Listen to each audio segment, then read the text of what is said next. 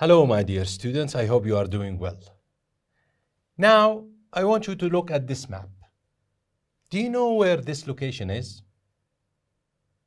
Yes, I guess you know it all because this is in Egypt and it's called the Valley of Kings.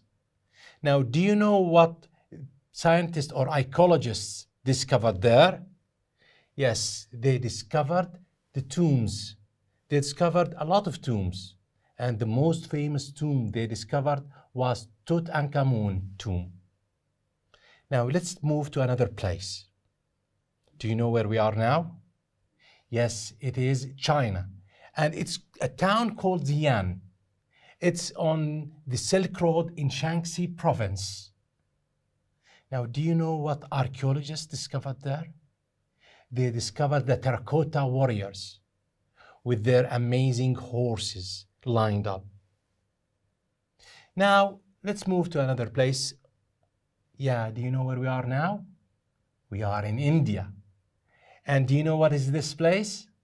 It is called the Red Fort. It is in Delhi. And do you know what they discovered there? They discovered the Peacock Throne. And it was very amazing.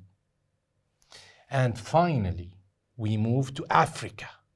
Where? Yes, the mud brick mosque. It is in Mali. And the mosque itself is the discovery.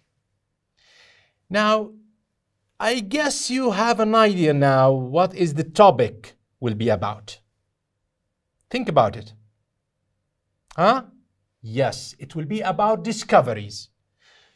In the upcoming part, we will be talking about discoveries made by famous people.